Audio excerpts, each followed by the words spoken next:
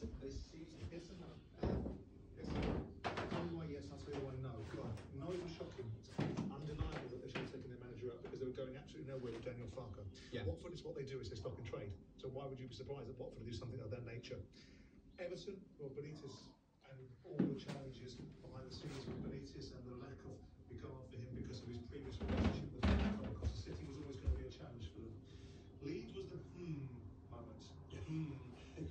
course, uh, the fact that this yes. is a challenge, about Ted Lasso, sorry,